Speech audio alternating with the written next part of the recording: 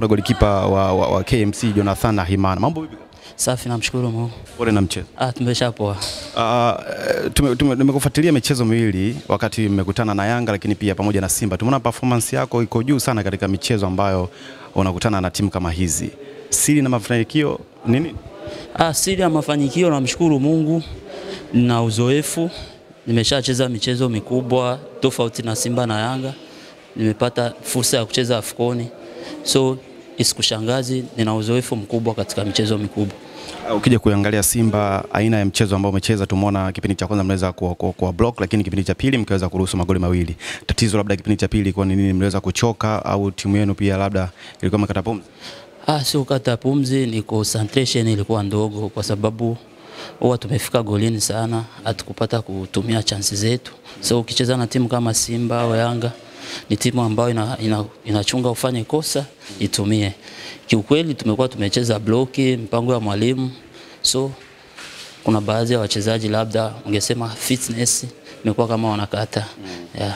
Okay, mpo katika nafasi mbaya kuelekea michezo ijao, labda tutegemea nini kwenu? labda ningewaahidi kitu.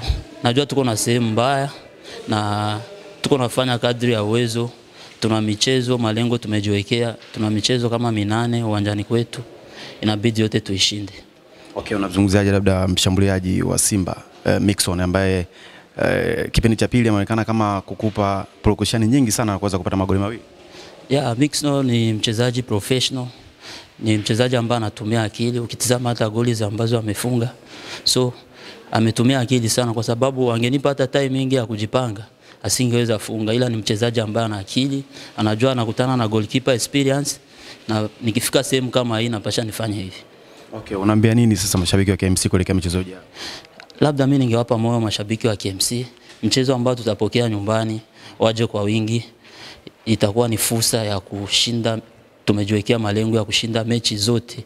Hizi timu ambazo zipo chini, hatuwezi kusema Simba, Yanga kwa sababu tunajua, ila tumejiwekea malengo. Hawa wenzetu mbao sijui nini, wakija nyumbani lazima tupate matokeo.